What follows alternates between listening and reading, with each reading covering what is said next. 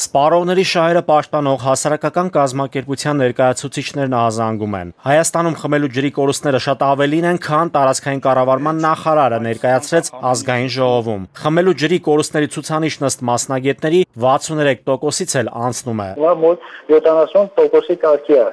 որը դասախտապայելի նորից կորուստ է։ Իրանք մի քանի տարի առաջ ընդհանրապես 80-ին չէր իջնում։ Մասնագետների դիտարկմամբ այստեղ թերացել եւ թերանում է ոչ միայն ջրամատակարարում իրականացնող Արտասամանյան ընկերությունը, այլ նաեւ ջրային կոմիտեն։ Ջրային կոմիտեը առաջինը, որ ինքը իր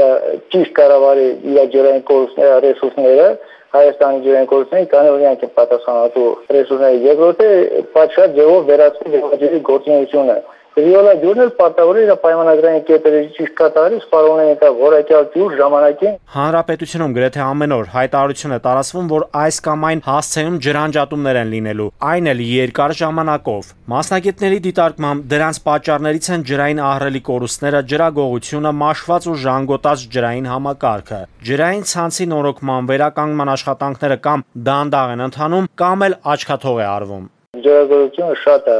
կեղծում են ջրաչափերն են կեղծում, բայց հենց խնդիրս ես որ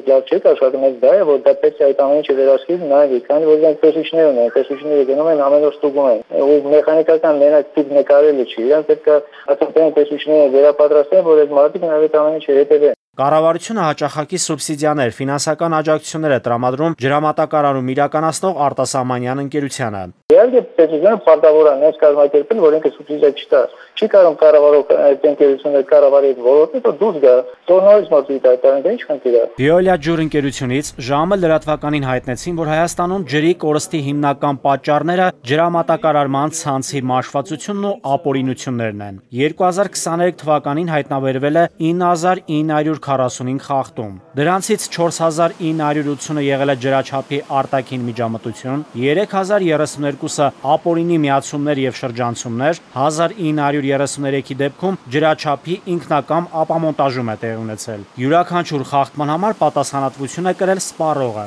Ջրանջատումներն հիմնականում ջրագծի կամ համակարգի ինժեներական կառույցների վթարի եւ պլանային աշխատանքների պատճառով են լինում։ Վթարների կանխարգելման լավագույն ձևն ըստ ընկերության ներդրումներն են համակարգում, ինչն ըստ ջրամատակարարում իրականացնող ընկերության հետևողականորեն իրականացվում է։ Նաիրի Մուրադյան, ժամը լրատվական։